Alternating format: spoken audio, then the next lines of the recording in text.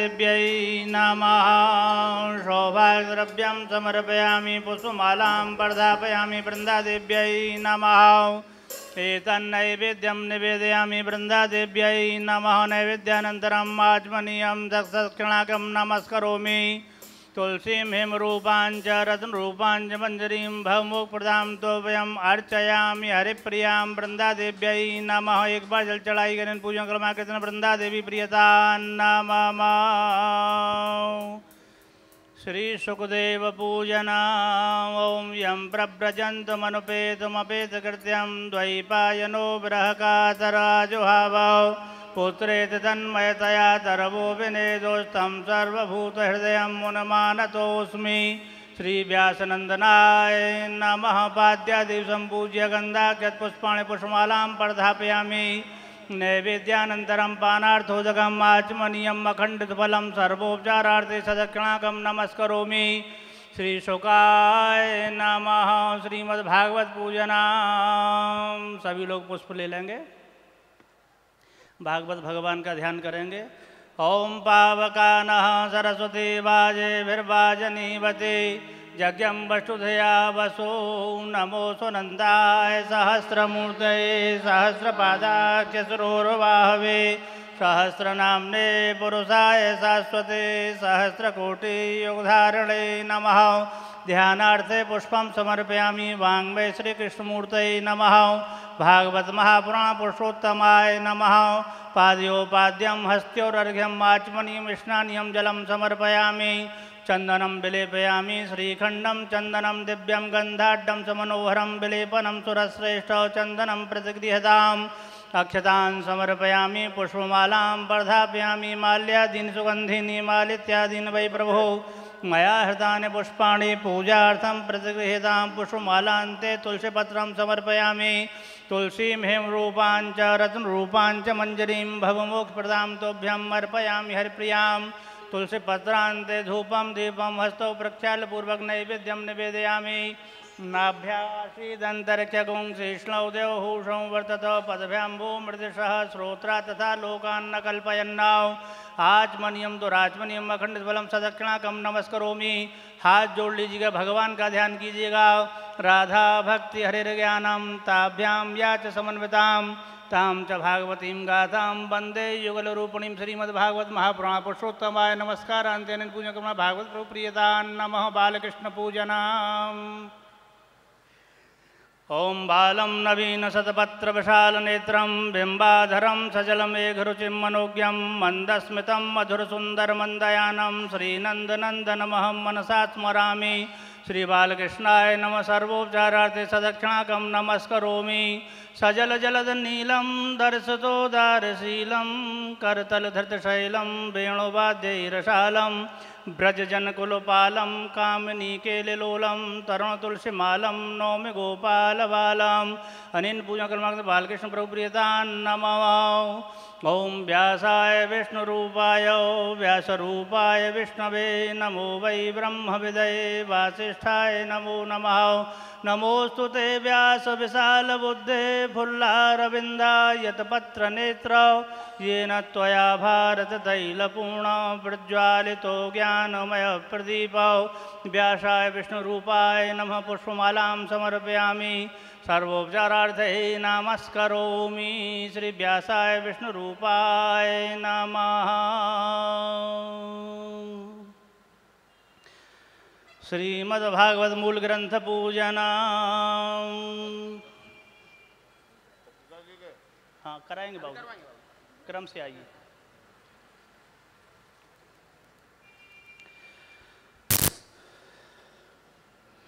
ओम जन्माद्यस्य यतोऽन्वयादितरतश्चार्थे सुभिज्ञस्वराट् तेने ब्रह्महृदायादिकवये मुह्यन्ति यत्सूरयौ, तेजो वारवृथां यथा विनिमयो यत्र सर्गो मृषा। धाम्ना स्वेन सदा निरस्तकुहकं सत्यं परं धीमहि श्रीमद्भागवतमूलग्रन्थाय नमः पुराणपुरुषोत्तमाय नमः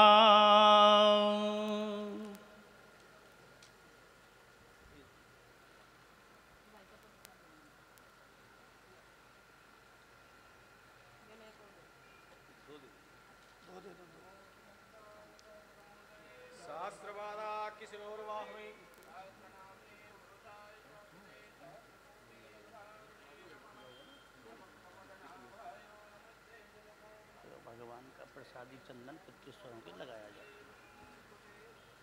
आइए। ब्रह्म गोपाल वेशम श्री खाटू देवाय नम खाटू श्यामाय नमः। ॐ बालार्कमण्डलाभासां चतुर्बाहुं त्रिलोचनां पाशाङ्कुशवराभितिर्धारयन्तीं शिवां भजे श्री महाकाली महालक्ष्मी सरस्वती करुणावत्सलाई दुर्गा देव्यै नमः, नमस्करोमि। कान्तिश्रितामृषतनिन्दितशारदेन्दोर्यत्रैकतो विलसितामशताङ्गशोभाम् वृन्दावनेऽपि कृतया मुनुगाङ्गसङ्गं श्रीराधामुकुन्दयुगलं तदहं नमामि। सर्वोपचारार्थे नमस्करोमि श्रीराधाकृष्णाभ्यां नमः। श्रीहनुमत्पूजनं ध्यानम् उल्लङ्घसिन्धो सलिलं सलीलं यशोकवह्निजनकात्मजाय आदाय तेनैव ददाहलङ्कां नमामि तं प्राञ्जलिराञ्जनेयं। यत्र यत्र गुणात्कीर्तनं तत्र तत्कृतमस्तकाञ्जलिं बाष्पास्तु नमो ब्रह्म भगवत्प्रसादी चन्दनं समर्पयामि, अक्षतान् समर्पयामि, पुष्पाणि समर्पयामि, सर्वेभ्यो पितृपुरुषेभ्यो नमः। नमस्करोमि यथारार्तिक्याम्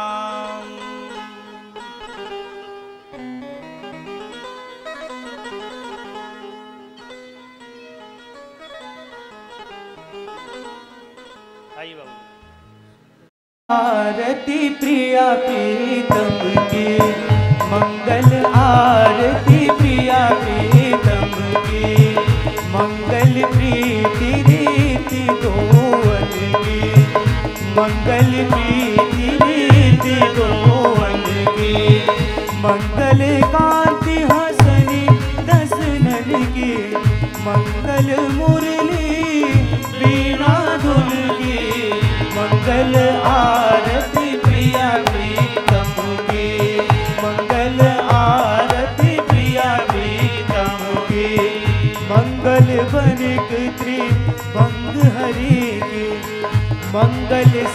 सेवा सब सहचर की मंगल सिर चंद्रिका मुकुट की। मंगल छबिन नन मैट की। मंगल आरती प्रिया प्रीतम की। मंगल आरती प्रिया प्रीतम के। मंगल छटा भी अंग अंग के। मंगल गौर श्याम, रस रंग के मंगल अति कटी पियर पट के मंगल चित बने नागर नट के मंगल आरती प्रिया प्रीतम की। मंगल आरती प्रिया प्रीतम की। मंगल शोभा कमल नैन के। मंगल माधुरी, मृदुल बैन के मंगल वृंदावन मगट के, मंगल क्रीड़न जमुना तट के, मंगल आरती प्रिया प्रीतम की, मंगल आरती प्रिया प्रीतम की, मंगल चरण अरुण तरुबन के, मंगल करनी भगत हरिजन के। मंगल जुगल प्रिया, पावन के। मंगल श्री राधा जीवन के। मंगल आरती प्रिया प्रीतम के। मंगल आरती प्रिया प्रीतम के।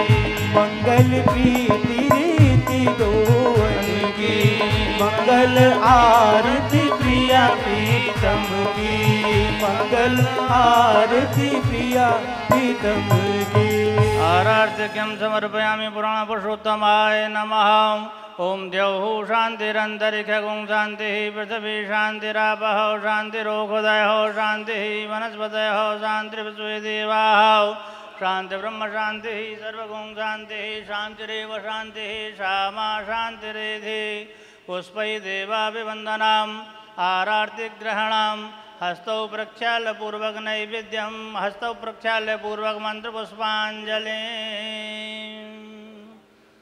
हरि ओम जग्ने न जग्नमयजन्त देवास्तानि धर्माणि प्रथमान्यासन्नौ ते हनाकं महिमानः सचन्द यत्र पूर्वे साहिने नमो वयं वै श्रवणाय कुर्महे समे कामान् कामकामाय मह्यां कामेश्वरो वै श्रवणो दधातु कुबेराय वै श्रवणाय महाराजाय नमः साम्राज्यं, भोज्यं, स्वराज्यं, वैराज्यं पारमेष्यं राज्यं, महाराजमाधिपत्यमयं च मन्दपर्यायै स्यात् सार्वभौमः। चार्वायुषयान्दादापरार्धात् पृथिव्यै समुद्रपर्यन्ताय एकराटति तदप्ये सश्लोको अभिगीयतो। मरुतः परवीटारो मरुतस्यावसङ्ग्रहे आवेक्ष्य तस्य कामपरे विश्वे वासदयति। ॐ विश्वतः चक्षुरुत विश्वतो मुखो, विश्वतो बाहुरुत विश्वतस्मात्। सम्बाहुव्यां रमति सम्पदत्रये द्यावा भूमि जनयन्नैव एकः। ॐ एकदन्ताय विद्महे वक्रतुण्डाय धीमहि, तन्नो दन्ति प्रचोदयात्। ॐ आञ्जनेयाय विद्महे रामभक्ताय धीमहि, तन्नो वीर प्रचोदयात्। ॐ नारायणाय विद्महे वासुदेवाय धीमहि, तन्नो विष्णु प्रचोदयात्। ॐ महालक्ष्म्यै च विद्महे विष्णुपत्न्यै च धीमहि। तन्नो लक्ष्मी प्रचोदयात्। सेवन्ते कावकुलचम्पकपाटलाब्जै पोन्नागजातकरवेलरसालपुष्पै मेलवा प्रबाल तुलसीदल मञ्जरी स्वां पूजयामि जगदीश्वर मे प्रसीदौ। नानासुगन्धपुष्पाणि यदा कालो भवानि च पुष्पाञ्जलमया दत्तो ग्रहण परमेश्वर। मन्त्रपुष्पाञ्जलिं समर्पयामि श्रीमद्भागवत महापुराण पुरुषोत्तमाय नमः बोलो भागवत भगवान की। वृंदावन बिहारी लाल की। वेद व्यास भगवान की। सुखदेव जी महाराज की। बोलो, आनंद बिहारी भगवान की। जय जय श्री राधे।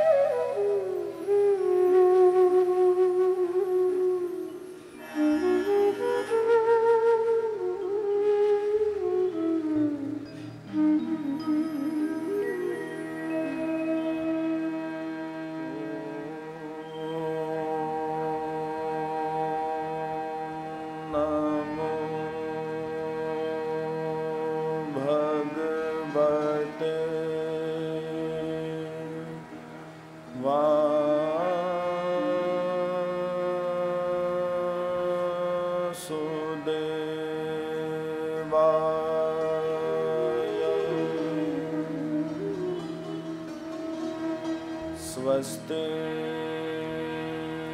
श्री गणशा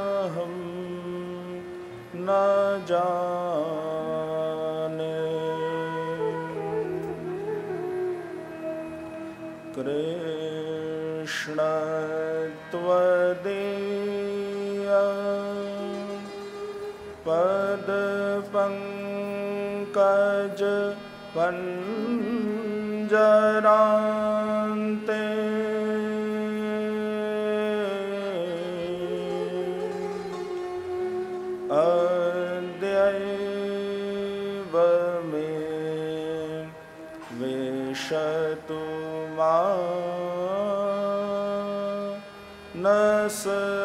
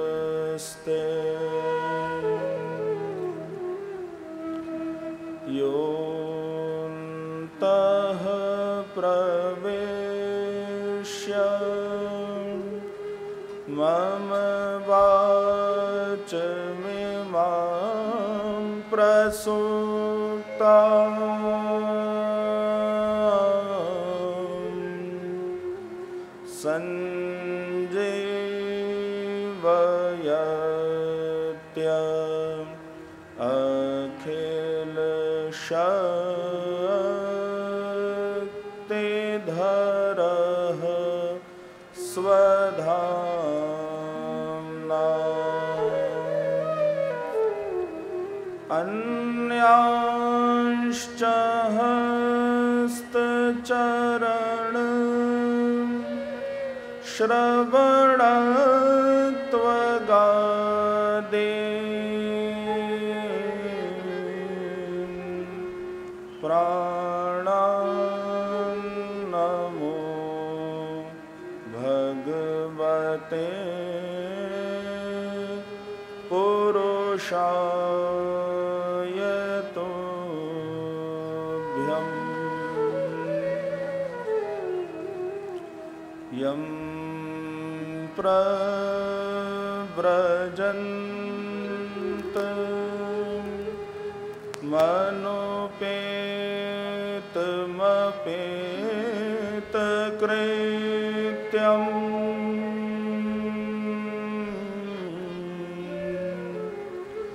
मनुपेतमपेतकृत्यम् द्वैपायनो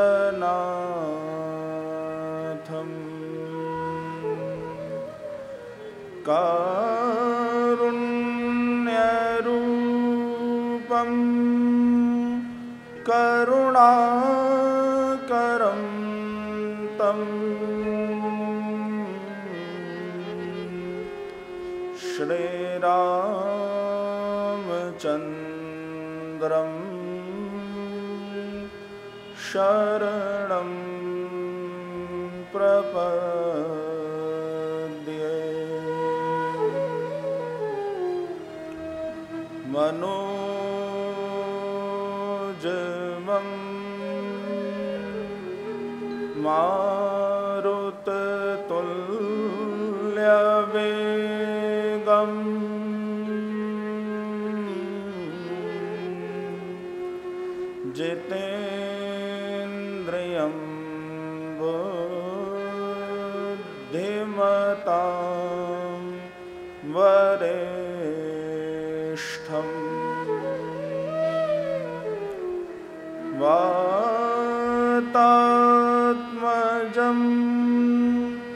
वानरयूथमुख्यम्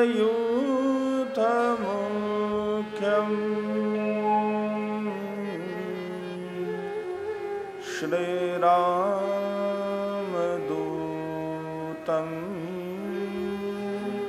शरणं प्रपद्ये।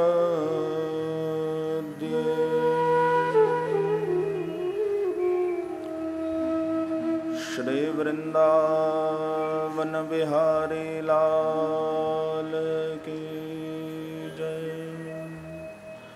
श्री रामचंद्र भगवान की जय। श्री आंजने भगवान की श्री सद्गुरुदेव भगवान श्री नीम करौली भगवान की ओ।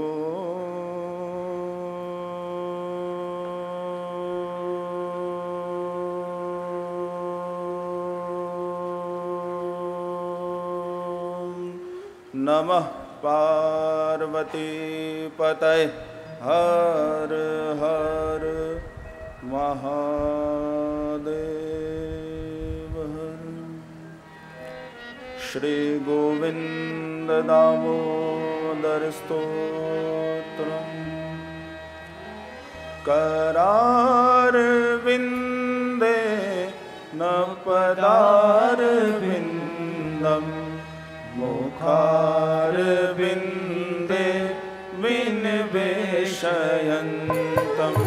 पटस्य भद्रस्य पुटेशया बालं मुकुन्दं मनसा स्मरा।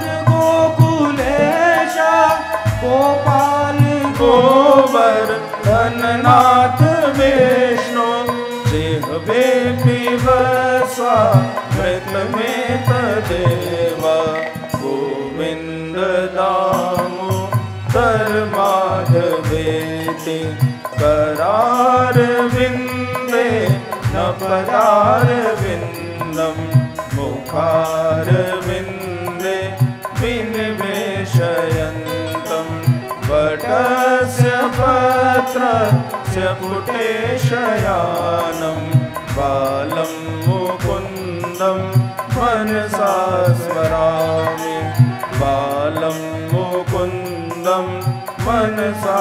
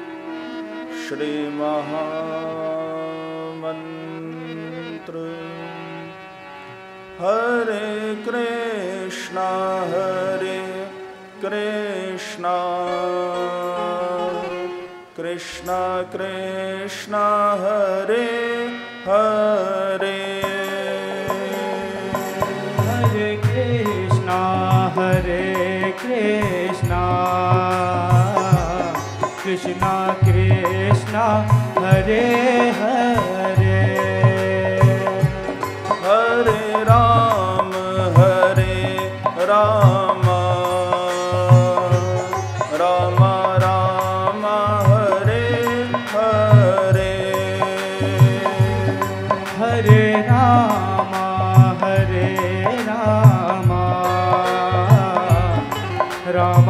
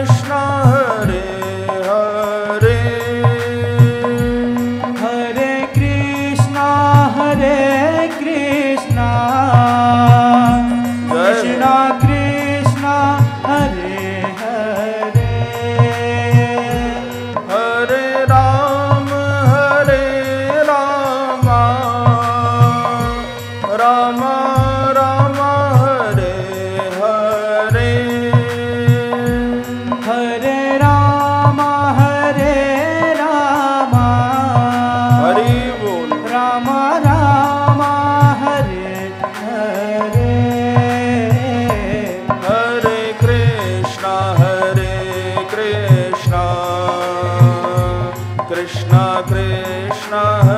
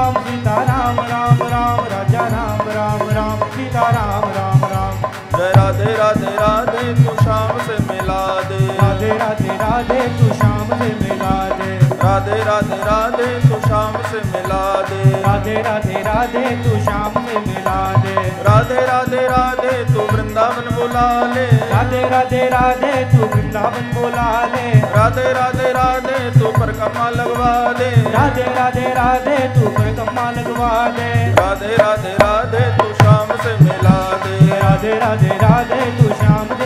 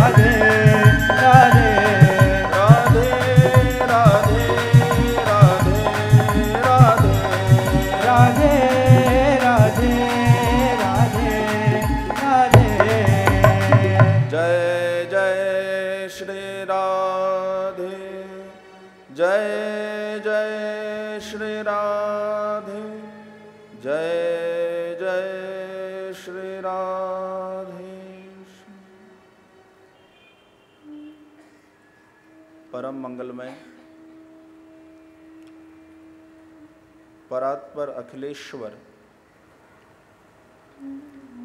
अकारण करुण, करुणा वरुणालय। भक्त वांछा कल्तरु भवाब्दि पोतम।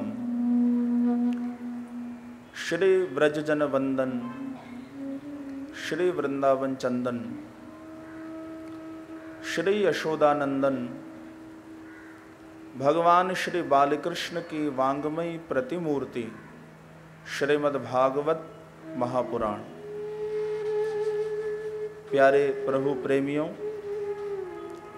श्रीमद् भागवत सप्ताह ज्ञान यज्ञ अनुष्ठान के तीसरे दिवस की कथा को यहाँ प्रारंभ करते हैं। कल के कथा सत्र में आपने भगवान सुखदेव और राजा परीक्षित के संवाद को सुना। श्रीमद् भागवत की मूल कथा सुखदेव जी और राजा परीक्षित के संवाद से ही प्रारंभ होती है। व्यासपीठ पर भगवान सुखदेव गंगा किनारे और हज़ारों महात्माओं की भीड़ में परीक्षित अपने मोक्ष के लिए श्रीमद् भागवत की कथा को श्रवण कर रहे हैं। श्रीमद् भागवत महापुराण ऐसा है, सज्जनों, जिसका संबंध गंगा से भी है, जिसका संबंध यमुना से भी है, और जिसका संबंध सरस्वती से भी है। श्री वेदव्यासी ने श्रीमद् भागवत महापुराण की रचना सरस्वती नदी के किनारे की। श्रीमद् भागवत में मेरे गोविंद की जिन लीलाओं का वर्णन है, वे सभी लीलाएँ श्री कृष्ण ने यमुना जी के किनारे की। और भगवान सुखदेव राजा परीक्षित को भागवत की कथा गंगा किनारे सुना रहे अठारह पुराणों में एकमात्र श्रीमद् भागवत महापुराण ऐसा है। जिसका संबंध गंगा से भी है, यमुना से भी है और सरस्वती से भी है। भक्ति, ज्ञान और वैराग्य का संगम ही श्रीमद् भागवत महापुराण है। महाराज, भगवान सुखदेव ने राजा परीक्षित को श्री विदुर और विदुरानी के कुटिया पर मेरे गोविंद पधारे और केले के छिलकों का भोग लगाया, ये कथा कही। सात दीप नौ खंड में रोज होत ज्यवनार एक शबरी, एक विदुर घर, तृप्त भयो दो बार। भगवान श्री कृष्ण, या तो रामावतार में माता शबरी के यहाँ, अथवा कृष्णावतार में श्री विदुर जी के कुटिया में। भगवान तृप्त हुए भोग लगा के और उन्होंने अपने साथ संपूर्ण त्रिलोकी को एक ही बार में तृप्त कर दिया। भगवान विदुर और विदुरानी को भक्ति का आशीर्वाद दे के वहाँ से प्रस्थान कर गए। कदली वन में, पर्णकुटी में श्री विदुर और विदुरानी। कुछ दिन के बाद श्री विदुर जी विदुरानी को कुटिया में ही छोड़ करके अकेले तीर्थ यात्रा के लिए गए। विदुर जी यमराज के अवतार हैं, धर्मराज के अवतार हैं। यद्यपि वे प्रकट हुए हैं दासी के गर्भ से, लेकिन मूल में तो वे धर्मराज ही हैं, यमराज हैं। और धर्म अधर्म, इसका न्याय जिस कुशलता से श्री विदुर जी कर सकते हैं ऐसा धरती पर कोई दूसरा देखने वाला मिलता नहीं। हमारे यहाँ दो नीतियाँ बड़ी प्रसिद्ध हैं। एक कहलाती है चाणक्य नीति। चाणक्य का अर्थशास्त्र आज भी विश्व में शोधकर्ताओं के लिए शोध का विषय है। उसको कहते हैं कौटिल्य का अर्थशास्त्र। आज भी वो शोध का विषय और दूसरी नीति है श्री विदुर नीति। यन्मंत्रणो वैदुरिकम वदंती विदुर नीति की कुछ बातें कल आपने कथा में सुनी। तो श्रीमान विदुर धर्म और अधर्म इन दोनों में न्याय करने वाले हैं। वे इन दोनों की परिभाषा को समझते हैं। भैया, हीरा यदि कोयले के बीच में पड़ा रहे, उसके बाद भी उसको हीरा ही कहा जाता है। ये ध्यान रखना। धर्मराज के अवतार हैं महात्मा विदुर। मांडव्य ऋषि के श्राप के कारण धर्मराज को श्री विदुर के रूप में अवतार लेना पड़ा। आज विदुर जी तीर्थ यात्रा में अलग अलग तीर्थों से होते हुए निकल रहे हैं। और उनका मन तो बस मेरे गोविंद के भजन में लगा हुआ है। भगवान श्री कृष्ण के जितने भी कीर्तन हैं, इन सबको हमारे ब्रज के महात्माओं ने अलग अलग प्रकार का फल बताया है।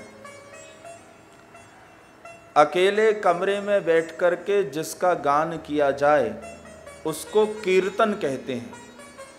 लेकिन सबके साथ मिलके सामूहिक रूप से एक स्थान पर जिसका गान किया जाए, उसको संकीर्तन बोलते हैं। हम्म? अब सामान्य भाषा में हम कीर्तन भी बोल देते हैं, कभी संकीर्तन भी बोल देते हैं, लेकिन दोनों के अर्थ में तो बहुत बड़ा अंतर है। अकेले जिसका गान होता है एकांत में, वो कीर्तन है। सामूहिक जिसका गान होता है, उसको संकीर्तन कहते हैं। भैया अलग अलग प्रकार के फल भगवान श्री कृष्ण के कीर्तनों को महात्माओं ने ब्रज के बताया है। अब देखो, मैंने एक कीर्तन गाया। गोविंद मेरो है, गोपाल मेरो है, श्री बांके बिहारी नंदलाल मेरो है। मैंने गोविंद कहा, मुझे फल मिल गया। मेरो है कहा इसका कोई फल नहीं मिला। गोपाल कहा, मुझे फल मिल गया। मेरो है कहा, इसका कोई फल नहीं मिला। श्री बांके बिहारी कहा, मुझे फल मिल गया। नंदलाल कहा, मुझे फल मिल गया। मेरो है कहा, इसका कोई फल नहीं मिला। भगवान को हम कीर्तन में कहते हैं, लेकिन भगवान तो जानते हैं कि तू मेरा ही है। ये भगवान को बताना थोड़ा ही है। ये तो भगवान जानते ही हैं कि तू मेरा ही अंश है। मेरी इच्छा का विस्तार मात्र है। अब देखो, जैसे फल में त्याज अंश होता है, आम का फल लिया तो छिलके को छोड़ना पड़ेगा ना साहब? गुठली को छोड़ना पड़ेगा। अब तत्व तो केवल जो उसका रस है, उससे ही मिलेगा। तो ये कीर्तन इस तरह का हुआ कि जहाँ जहाँ भगवान का नाम आया, उसका फल तो मिला। मेरो है, तेरो है, सबको है, ये जो कुछ कहा, इसका कोई फल नहीं। अब मान लीजिए मैंने कीर्तन गाया। श्री कृष्ण गोविंद हरे मुरारे, हे नाथ नारायण वासुदेवा। ये ऐसा फल है जिसमें कुछ त्याज्य अंश नहीं है। जैसे अंगूर होता है। अब ना छिलका छोड़ना है, ना गुठली छोड़नी है? तो श्री कृष्ण कहा, फल मिल गया। गोविंद कहा तो फल मिल गया। हरे कहा तो फल मिल गया। मुरारे कहा तो फल मिल गया। हे नाथ, फल मिल गया। नारायण, फल मिल गया। वासुदेव, फल मिल गया। ये जितने भी कीर्तन हैं, जैसे अलग अलग प्रकार के फल होते हैं, ये सब भी फल के समान हैं। किसी फल में त्याजंश होता है, किसी फल में त्याजंश नहीं होता है। तो श्रीमान विदुर जी मेरे गोविंद के ही कीर्तन में मग्न तीर्थ यात्रा करते हुए आगे आ रहे हैं। भारत भूमि में क्या कुछ घटनाक्रम घट रहा है, इसका श्रीमान विदुर को कोई ज्ञान ना हुआ। और कई दिनों की तीर्थ यात्रा के बाद श्री विदुर जी महाराज यमुना किनारे पर पधारे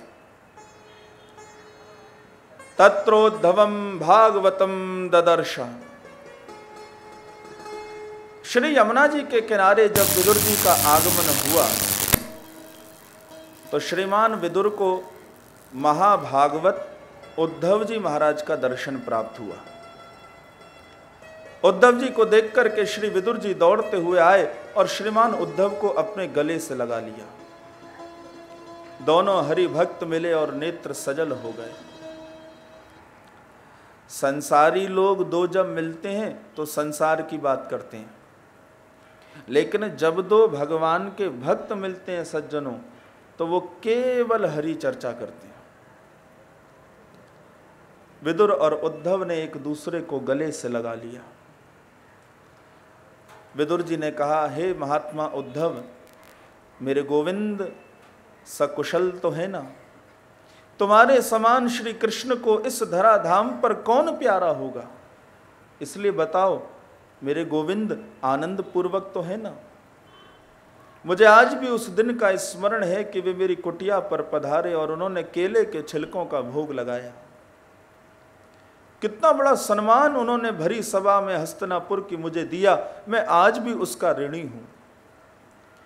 उद्धव मैं तीर्थ यात्रा में कई दिनों से हूँ, मुझे ज्ञान नहीं। बताओ, श्री बलराम जी आनंद पूर्वक तो है ना?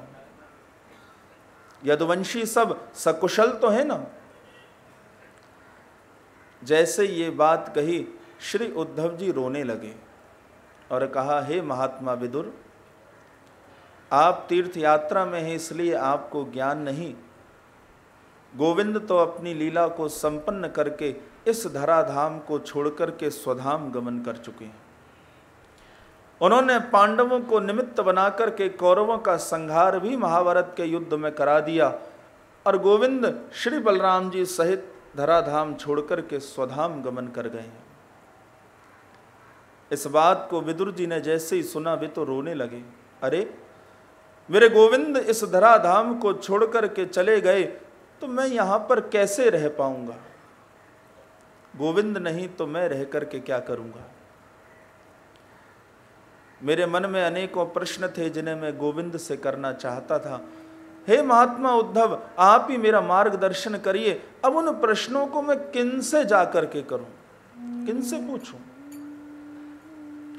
उद्धव जी ने कहा, विदुर जी, जाने से पहले श्री कृष्ण ने मैत्रेय मुनि को यह आज्ञा दी थी कि जब मेरे विदुर काका जी आपके आश्रम में आए तो उनके प्रश्नों का समाधान करिएगा। इसलिए आपके मन में अब जो भी जिज्ञासाएँ हैं, आप हरिद्वार की पवित्र भूमि में जाइए और मैत्रेय मुनि के आश्रम में जाकर के अपने प्रश्नों को उनसे निवेदित करिए। गोविंद लीला संपन्न कर चुके हैं। मैं उनकी ही चरण पादुकाएँ लेकर के श्री बद्रीनाथ धाम की ओर जा रहा हूँ, महात्मा विदुर, क्योंकि प्रभु ने मुझे ऐसी आज्ञा दी है। महाराज विदुर जी चले हरिद्वार की ओर और और श्रीमान उद्धव चले बद्रीनाथ धाम की ओर। अक्षय तृतीया जब आती है तो बद्रीनाथ धाम के कपाट खुलते हैं। आपको मालूम है ना? लेकिन इस वर्ष जो अक्षय तृतीया है ना, उस पर बद्रीनाथ धाम के कपाट नहीं खुलेंगे। ध्यान रखना। हाँ ये विशेष बात है। ऐसे तो अक्षय तृतीया पर खुलते हैं। अक्षय तृतीया है सोलह मई की। हम्म? और बद्रीनाथ के कपाट खुलेंगे 19 मई को। वैसे अक्षय तृतीया पर ही बद्रीनाथ के कपाट खुलते हैं। यदि अक्षय तृतीया के दिन श्री बांके बिहारी जी का श्री वृंदावन में जाकर के दर्शन किया जाए उनके दोनों चरणों के बीच में चंदन का लड्डू दिव्य बना के रखा जाता है। तो उस दर्शन को करने से श्री बद्रीनाथ के दर्शन का फल प्राप्त होगा। भैया, विदुर जी महाराज हरिद्वार की भूमि में पधारे। मैत्रे मासीन मगाद बोधम मैत्रे मुनि का दिव्य आश्रम। आश्रम में आए मैत्रेय मुनि से मिलना हुआ और दोनों महात्मा अपने अपने आसनों पर बैठ गए। श्री विदुर जी ने कहा, हे महात्मा मैत्रेय उद्धव जी की प्रेरणा से मैं यहाँ पर आया हूँ, क्योंकि उन्होंने मुझे कहा कि श्री कृष्ण ने जाने से पहले आपको आज्ञा दी मेरे प्रश्नों का समाधान करने की। मैत्रेय मुनि ने कहा, गोविंद की मुझे आज्ञा है तो बताइए महात्मा विदुर, आप क्या पूछना चाहते हैं मुझसे? क्या क्या जानना चाहते हैं? विदुर जी ने कहा, मैत्रेय मुनि, मैं थोड़ा सृष्टि निर्माण के बारे में जानना चाहता हूँ, आप मुझसे कहिए। और मैंने सुना है कि एक बार भगवान नारायण ने सुकर का रूप ले लिया था। प्रभु को ये विचित्र रूप क्यों लेना पड़ गया? थोड़ा थोड़ा आप इसके बारे में मुझे बताइए। मैत्रे मुनि सृष्टि निर्माण की कथा की ओर विदुर जी को लेकर के गए। श्रीमद् भागवत में सृष्टि निर्माण की कथा कई स्थानों पर आई है। श्रीमद् भागवत के ये तृतीय स्कंद में भी आती है और मैत्रेय मुनि श्री विदुर जी को बता रहे हैं। कहा, हे विदुर जी महाराज, इस सृष्टि रचना से पूर्व केवल भगवान श्रीमन नारायण थे। भगवान नारायण के मन में इच्छा हुई कि एको हम बहुत श्याम, मैं एक से अनेक हो जाऊँ। तो भगवान ने सबसे पहले सत्वगुण, रजोगुण और तमोगुण को मिलाकर के त्रिगुणमयी प्रकृति को बनाया। प्रकृति से उन्होंने महतत्व को उत्पन्न किया और महतत्व से उन्होंने तीन प्रकार के अहंकार को उत्पन्न किया। तामस अहंकार, राजसिक अहंकार और सात्विक अहंकार। इन तीनों प्रकार के अहंकारों से ही भगवान ने पंच महाभूत, उनकी पाँच तन्मात्राएँ, पाँच ज्ञानेन्द्रियाँ पाँच कर्मेंद्रियाँ, मन, बुद्धि, चित्त, अहंकार, इन 24 तत्वों को मिलाकर के हमारे शरीर का निर्माण किया। 24 तत्व हैं हमारे शरीर में। भैया, भगवान नारायण के मुख्य 24 अवतार, एक दिन में 24 घंटे, और हमारे शरीर में भी 24 ही तत्व। एक दिन के 24 घंटे में 24 तत्व से बने शरीर के द्वारा यदि भगवान नारायण के 24 नामों का स्मरण किया जाए तो समझ लेना कि जीवन के किसी भी घंटे में कोई संकट हमारा स्पर्श नहीं कर सकता। कितनी सुंदर व्यवस्था की गई है। महाराज 24 तत्वों से हमारा शरीर बना। लेकिन ये शरीर क्रिया नहीं करता। तब भगवान 25वें प्राण तत्व के रूप में इसके अंदर प्रवेश कर गए और इस शरीर ने क्रिया करना प्रारंभ कर दिया।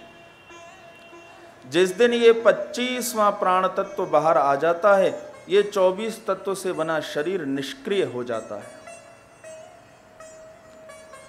हाँ महाराज। देखो, हमारा जो राष्ट्रीय ध्वज है ना, उस राष्ट्रीय ध्वज के बीच में जो चक्र है, उसमें कितनी पंक्तियाँ होती हैं? उसमें 24 ही पंक्तियाँ होती हैं। हमारा जो राष्ट्रीय चिन्ह है, जिसको अशोक की लाट कहा जाता है, उसमें भी एक चक्र है और उस चक्र में भी 24 ही पंक्तियाँ होती हैं। तो 24 तत्वों से हमारा शरीर बना। भैया, भगवान नारायण ने ही सृष्टि निर्माण के उद्देश्य से अपने नाभि से एक कमल के फूल को प्रकट किया। इस कमल के फूल पर भगवान नारायण ने श्री ब्रह्मा जी को प्रकट किया। ब्रह्मा जी जब प्रकट होकर के आए तो उनके एक ही मुख था। अब वे सोचने लगे कि मैं यहाँ पर कहाँ से आ गया? सो चारों दिशाओं में अपने मुख को घुमा करके देखने लगे। इतनी जल्दी बार बार देखने लगे, हे विदुर जी इसके कारण ब्रह्मा जी के एक से चार मुख हो गए। चारों दिशाओं में उनका एक एक मुख है। ब्रह्मा जी ने सोचा, मैं यहाँ कमल आसन पर कैसे आ गया? मैं कहाँ से प्रकट हूँ? मेरा उद्भव कहाँ से है? चलो, इस कमल के फूल की नाल में उतर कर के जाता हूँ और जहाँ इसका अंत हो, वहीं से मेरा उद्भव हो। ब्रह्मा जी कमल के फूल की नाल में उतर करके आए। महाराज, नीचे चलते हुए चले आ रहे हैं, लेकिन इसका अंत उनको प्राप्त ना हुआ। फिर ऊपर आए, फिर गए नीचे, अंत ना मिला। हार करके कमल पर ही आकर के बैठ गए। तब श्री ब्रह्मा जी को दो शब्द सुनाई दिए। त और प। तप अर्थात तपस्या करो। ब्रह्मा जी ने दिव्य सौ वर्षों का तप किया महात्मा विदुर और तब श्रीमन नारायण का दर्शन श्री ब्रह्मा जी महाराज को प्राप्त हुआ। भगवान नारायण की प्रेरणा से ही श्री ब्रह्मा जी ने दस प्रकार की सृष्टि रचना की। ये दस प्रकार की सृष्टि रचना। हम आँखों से बाहर जो कुछ भी देखते हैं, ये सब उसी दस प्रकार की सृष्टि रचना में आता है। पशु, पक्षी, लता, पता, जड़, चेतन, पहाड़, मैदान, पक्षी, कीड़े, मकोड़े, जो कुछ भी हम आँखों से देखते हैं चारों ओर। ये विविध प्रकार का जो भरा हुआ पड़ा है रंग बिरंगा ये सब उसी दस प्रकार की सृष्टि में आता है। ब्रह्मा जी ने दस प्रकार की सृष्टि रचना की। भगवान नारायण का ऐसा आदेश भगवान एक से अनेक होना चाहते हैं और जो कुछ भी चेतन है, उसमें चेतना के रूप में स्वयं भगवान नारायण है महात्मा विदुर। प्राणान नमो भगवते पुरुषाय तुभ्यम प्राण तत्व तो परमात्मा ही है। हे विदुर जी, इसके बाद काल मनवंतर का जो निर्माण किया गया, उसके बारे में आपको कहता हूँ। सबसे पहले श्री ब्रह्मा जी ने दो परमाणुओं को मिलाकर के एक अणु को बनाया। उसके बाद उन्होंने तीन अणु को मिलाकर के एक त्रसरेणु को बनाया। इसके बाद उन्होंने तीन त्रसरेणु को मिलाकर के एक त्रुटि को बनाया। त्रुटि का ही जो सौगुना काल हुआ, उसको वेद के रूप में निर्धारित किया गया। फिर उन्होंने तीन वेद को मिलाकर के एक लव का समय बना दिया। तीन लव मिलाकर के एक निमेश का समय बनाया। तीन निमेश मिलाकर के एक क्षण का समय बनाया। पाँच क्षण को मिलाकर के उन्होंने एक काष्ठा बनाई। पंद्रह काष्ठा को मिलाकर के उन्होंने एक लघु बनाया।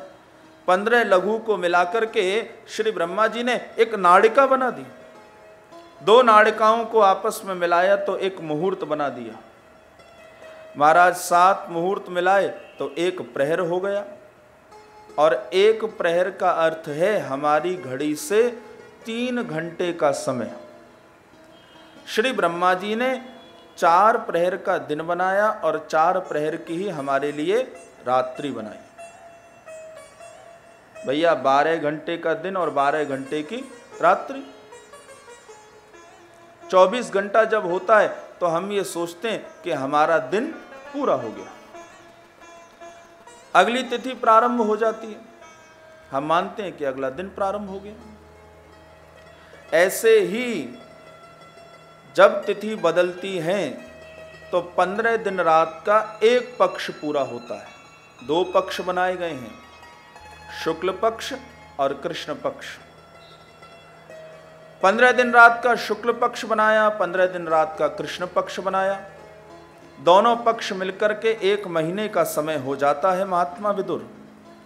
इसी प्रकार दो महीना मिलकर के एक ऋतु का समय हो जाता है और तीन ऋतु मिलकर के एक अयन का समय हो जाता है।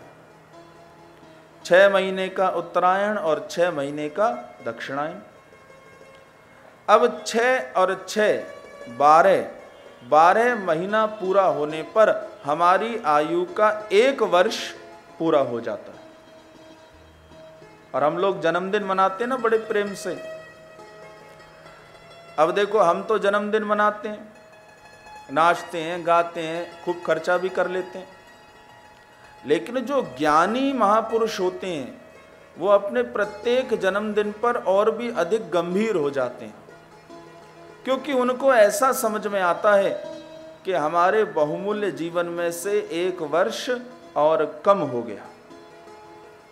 अब ये जो कम हो गया तो कोई चीज़ जब कम होती है तो उसके लिए गंभीरता बढ़ जाती है। उसके लिए चिंतन होने लगता है। उसके लिए विचार होता है।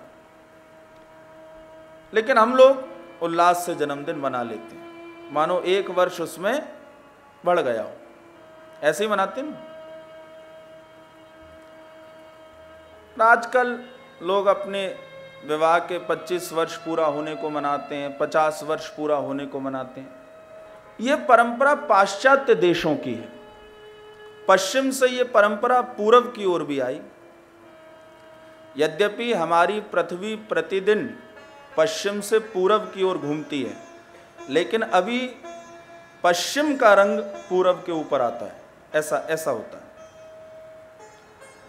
साढ़े छः अरब से ऊपर की आबादी इस समय पृथ्वी पर रह रही है और सौ करोड़ से ऊपर तो लोग केवल हमारे ही देश में रह रहे हैं। हम्म?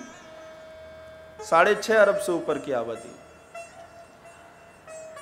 पृथ्वी, अब भैया, लगभग इसमें आप मान लो पिचहत्तर प्रतिशत तो पानी ही है, पच्चीस प्रतिशत जो है वो ज़मीन है, भूमि है। तो ये पृथ्वी पाश्चात्य संस्कृति का प्रभाव पूरब पर। देखो, विदेशों में ये 25 वर्ष मनाना और 50 वर्ष मनाना इसलिए बहुत महत्वपूर्ण माना जाता है, क्योंकि वहाँ पर दाम्पत्य जीवन बहुत लंबे चल नहीं पाते। हाँ महाराज, कोई किसी की चौथी पत्नी, कोई किसी का दूसरा पति, ऐसा होता है वहाँ पर। और जब पाश्चात्य देशों के लोग आते हैं, मेरा कभी उनसे मिलना होता है तो मैं उनको पूछता हूँ तो वे अपने परिचय में ऐसे ही बताते हैं कि महाराज जी, ये मेरी दूसरी पत्नी है। वो कहती है, ये मेरा तीसरा पति है। तो ये जो परंपरा है, इसमें बहुत लंबे समय तक दाम्पत्य जीवन जब चल जाता है तो उनको लगता है कि मानो कुछ विशेष ही घट गया तो चलो इसके ऊपर कोई उत्सव मना ही लेना चाहिए तो वो उत्सव मनाते हैं? लेकिन हमारे यहाँ क्या है? एक ही बार में सात जन्म का चक्कर पक्का हो जाता है। अब दूसरे जन्म के बारे में तो कुछ पता नहीं है, पर यहाँ तो एक ही बार में सात जन्म का निपटारा हो जाता है। और हम लोग भी मना लेते हैं, चलो पच्चीस वर्ष हो गए भैया, मनाओ। पचास वर्ष हो गए, मनाओ। ऐसा रहता अब मना लेना चाहिए, कोई बात नहीं।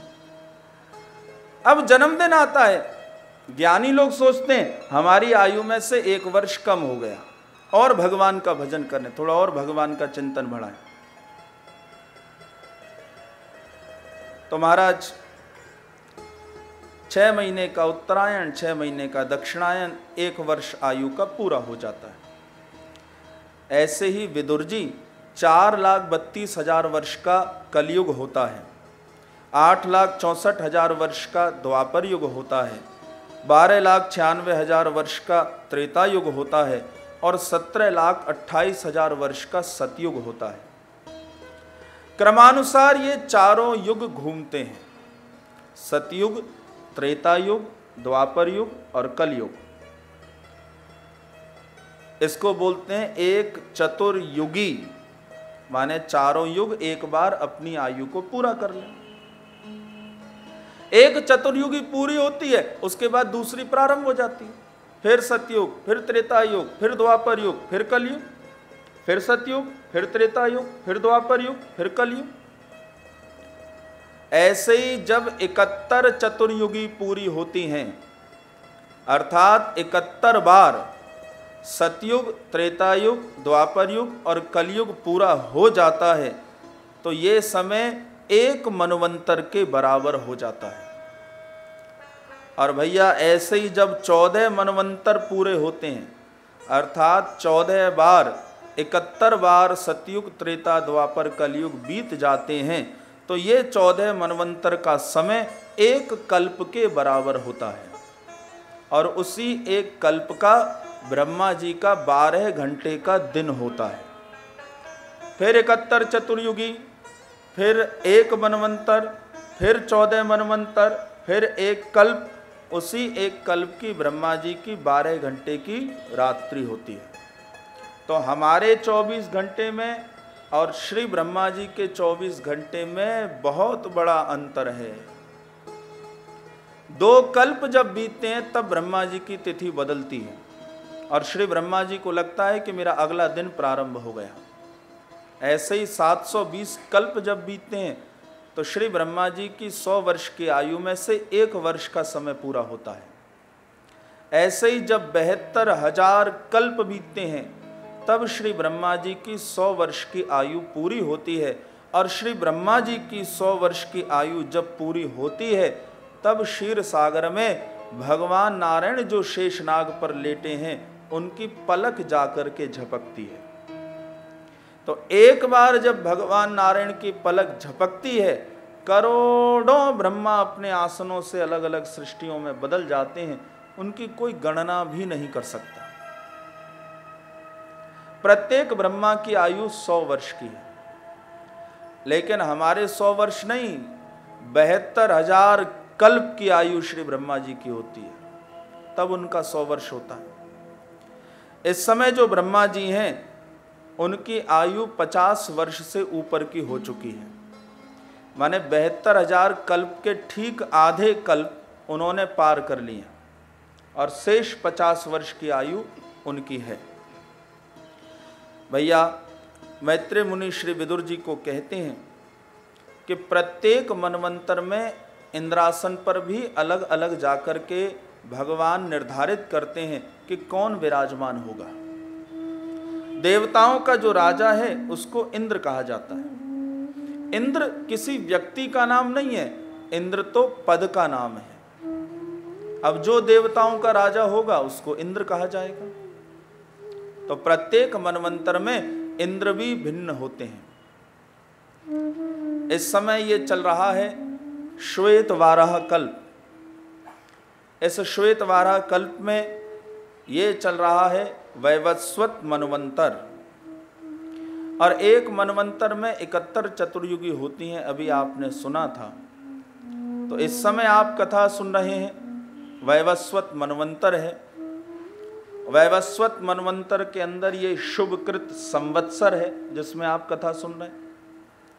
ये वैवस्वत मनवंतर जिसमें इकहत्तर चतुर्युगी होती हैं, अब तक इकहत्तर में से सत्ताईस चतुर्युगी बीत चुकी हैं।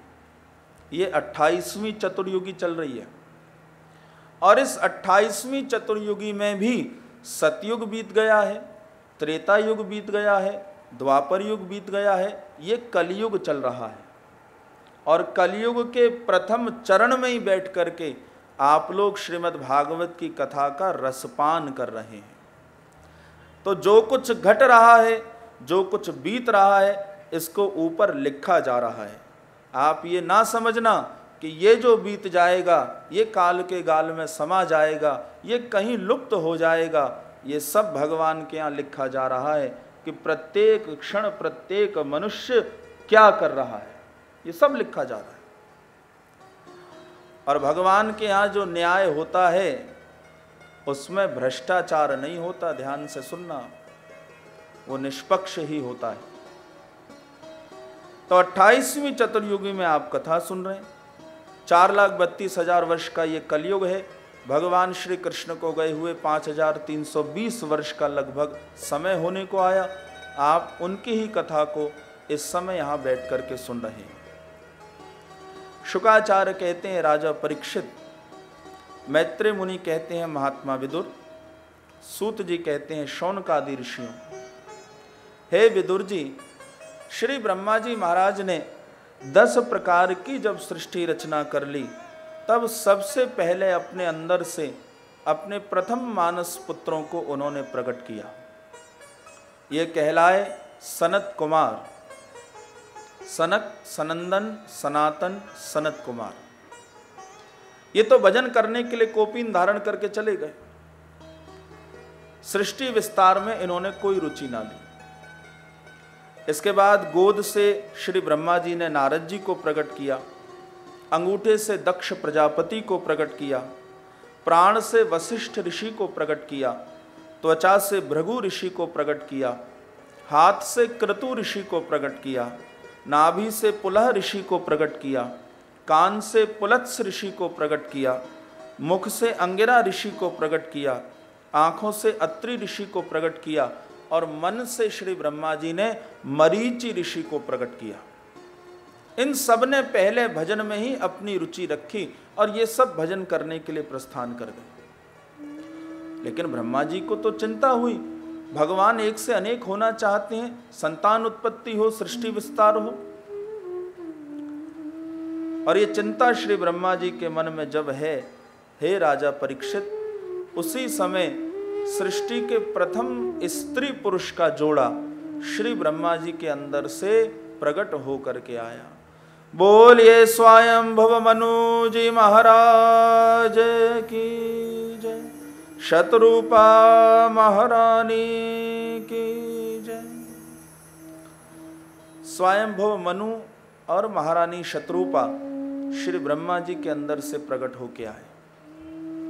स्वयं भुव मनु अरु शतरूपा तब ते भई नर सृष्टि अनुपा। ब्रह्मा जी की स्तुति की और कहा कि आप ही हमारी माता हैं, आप ही हमारे पिता हैं तो बताइए, हमारे लिए क्या आज्ञा है? ब्रह्मा जी ने कहा, देखो, जैसे मैं तुम्हारी माता और पिता हूँ, ऐसे ही भगवान नारायण मेरी माता और पिता हैं। उनके मन में इच्छा है, वे एक से अनेक होना चाहते हैं तो मैं ये आज्ञा देता हूँ कि तुम दोनों गृहस्थ धर्म का पालन करके संतान उत्पत्ति करो। संतान का उत्पादन होगा तो भगवान एक से अनेक हो जाएँगे।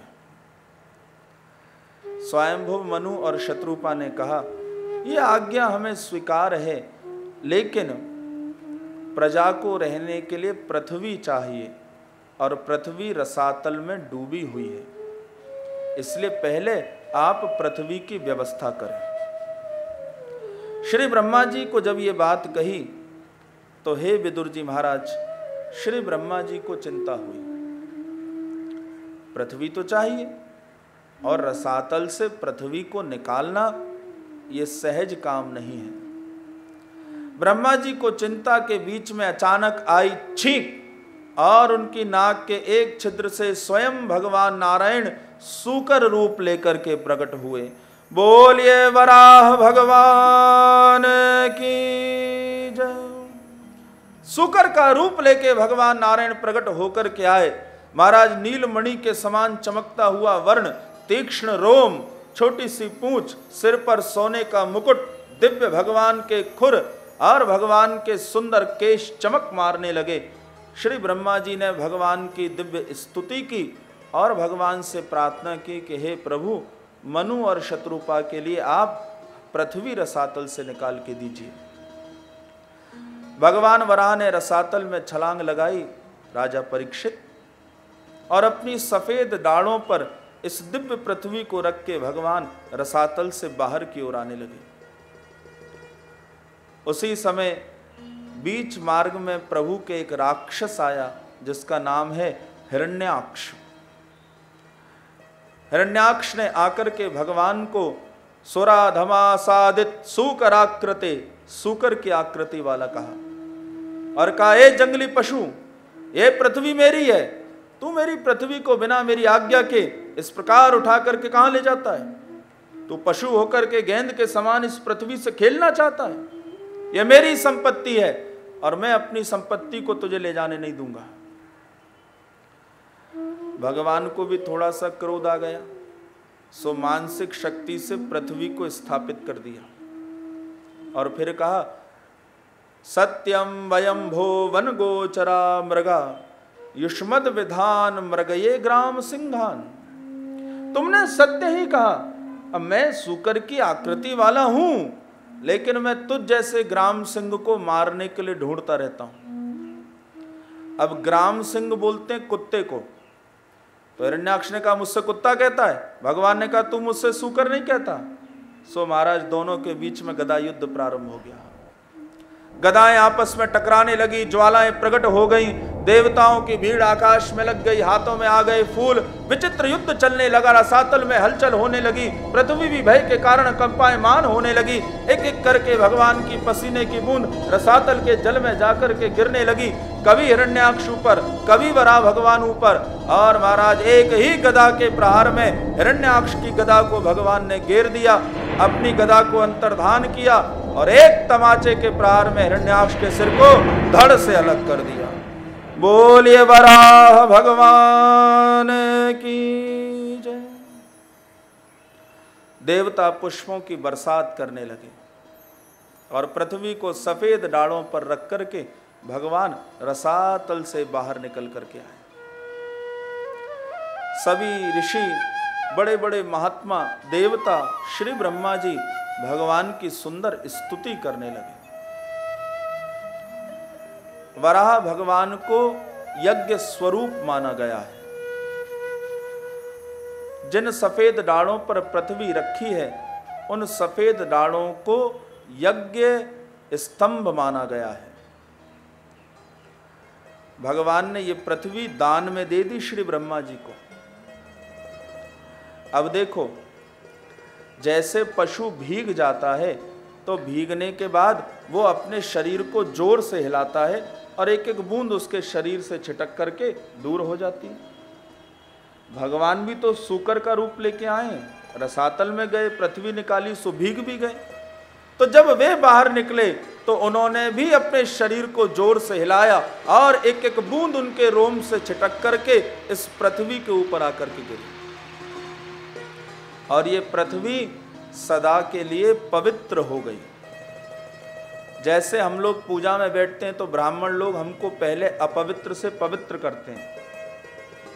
ओम अपवित्रो पवित्रो वा सर्वावस्थांगतो पिवा यह स्मरेत पुंडरीकाक्ष सवायाभ्यंतर शुचि। पुंडरीकाक्ष पुनातु पुंडरीकाक्ष पुनातु पुंडरीकाक्ष पुनातु। त्रियाचम्यम ओम ऋषिकेशाय नमः। माधवाय नमः। गोविंदाय नमः। आचमन करते हैं। अब ये अपवित्र से पवित्र ब्राह्मण हमको करते हैं। ऐसे ही भगवान ने अपने रोम जल बिंदुओं के द्वारा इस पृथ्वी को अपवित्र से पवित्र कर दिया। वरा भगवान के रोम जो हैं, उनसे ही कुश की, कांस की उत्पत्ति हुई है। ध्यान रखना। और कांध है मूंज, जनेऊ साजे। हनुमान जी जिस मूंज के जनेऊ को पहनते हैं वो इसी कुश और कांस को बट करके बनाई जाती है। मूंज का जनेऊ। वरा भगवान के रोम से ही ये प्रकट है।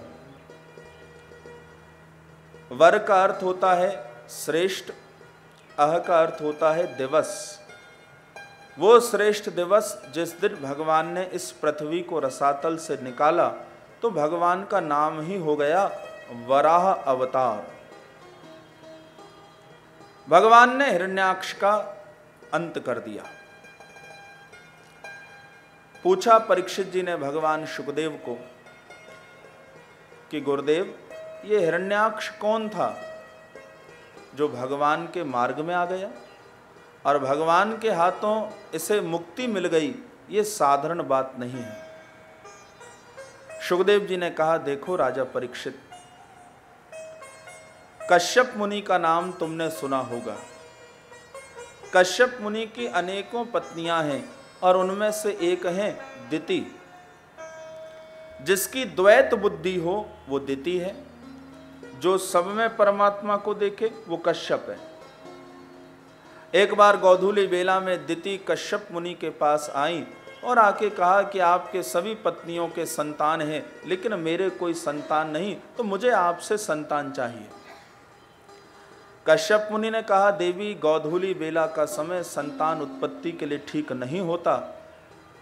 भोजन, शयन, स्वाध्याय और संतान उत्पत्ति, इसके लिए गौधूली बेला के समय को निषेध बताया गया है। तो ये समय ठीक नहीं है, लेकिन दिति हट करने लगी। और उस हट के परिणाम स्वरूप दिति के गर्भ में दो बालक आए जिन्हें संसार हिरण्याक्ष और हिरण्य कशिपु के नाम से जानता है। हिरण्याक्ष और हिरण्य कशिपु कश्यप मुनि को क्रोध आया सो दिति को श्राप दिया कि मेरी आज्ञा की तूने अवहेलना की है तो तेरे गर्भ से जन्म लेने वाले दोनों पुत्र दुष्ट होंगे, असुर होंगे। अपनी भूल का ज्ञान हुआ, दिति को पश्चाताप करने लगी, रोने लगी, तब हाथ जोड़ के कहा कि मेरे दोनों पुत्र दुष्ट और राक्षस होंगे, लेकिन मैं यही चाहती हूँ कि उन दोनों की मृत्यु किसी ब्राह्मण के श्राप से ना हो। मेरे दोनों पुत्रों की मृत्यु स्वयं भगवान नारायण के हाथों हो, ऐसा वरदान भी आप मुझे दीजिए। ब्राह्मण के श्राप से मरेंगे तो मोक्ष नहीं मिलेगा, भटकते रहेंगे। कम से कम भगवान के हाथों मरेंगे तो मेरे दोनों पुत्रों को मोक्ष तो मिल ही जाएगा। वात्सल्य भाव आ गया मन में। तो कश्यप मुनि ने कहा कि ऐसा ही होगा, भगवान नारायण के हाथों तुम्हारे दोनों पुत्रों को मोक्ष मिलेगा। तुम्हें अपने अपराध पर मन में ग्लानी है दिति तो मैं तुम्हें एक वरदान भी देता हूँ कि तुम्हारा ही एक पौत्र भगवान नारायण का परम भक्त होगा, संसार जिसे भक्तराज प्रहलाद के नाम से जानेगा। वरदान भी दे दिया। ये हिरण्याक्ष और हिरण्य कशिपु ए तो तो पार्षदो महियम जयो विजय ए वच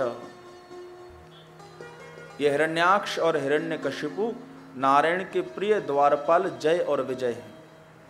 एक बार इन दोनों ने हे राजा परीक्षित, सनत कुमारों को बैकुंठ में प्रवेश करने से रोक दिया। सनत कुमारों को क्रोध आया और उन्होंने जय और विजय को तीन बार असुरों के रूप में जन्म लेने का श्राप दिया। कहा, तुम्हारे अंदर तीन दुर्गुण हमें दिखाई देते हैं। काम है, क्रोध है और लोभ है।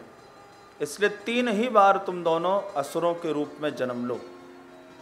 एक बार हिरण्याक्ष हिरण्य कशिपु के रूप में, एक बार रावण और कुंभकर्ण के रूप में, एक बार शिशुपाल और दंत वक्त्र के रूप में जन्म लो।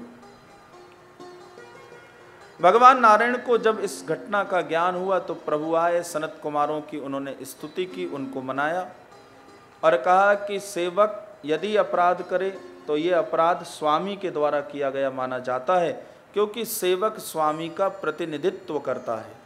ये तीन बार असुरों के रूप में लें जन्म तो इनसे ज़्यादा दंड मुझे मिलना चाहिए, इसलिए इनका उद्धार करने के लिए मैं चार बार अवतार लूँगा। वराह अवतार नरसिंह अवतार श्री राम के रूप में अवतार और श्री कृष्ण के रूप में अवतार।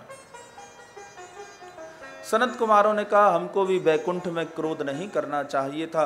क्रोध करने से भजन का फल समाप्त हो जाता है तो हम चारों ही मिलकर के प्रहलाद के रूप में जन्म लेंगे और कष्ट सहन करके हे प्रभु, आपका भजन करेंगे। प्रहलाद जी, सनत कुमारों के अवतार हैं, ध्यान रखना। तो महाराज, वही जय और विजय हिरण्याक्ष हिरण्य कशपु के रूप में जन्म लेके आए और भगवान वराह ने हिरण्याक्ष का अंत किया। ये हिरण्याक्ष और हिरण्य कशपु लोभ के प्रतीक हैं। हिरण्याक्ष माने संग्रह वृत्ति लोभ हिरण्य कशपु माने भोग वृत्ति लोभ। संग्रह में संतोष नहीं है और भोग में तृप्ति नहीं है। इस पूरी धरती पर जितना भी अपराध होता है, वो अपराध दो ही कारणों से जुड़ा होता है। या तो वो अपराध धन के कारण होता है, अथवा वो अपराध भोग के कारण होता है। हुँ? दो ही कारणों से अपराध होता है। अब ये जो धन के कारण होता है, वही हिरण्याक्ष है। और जो भोग के कारण होता है, वही हिरण्य कशिपु है। तो भगवान वराह के रूप में आए और हिरण्याक्ष का उन्होंने उद्धार किया। भगवान वराह संतोष के प्रतीक हैं।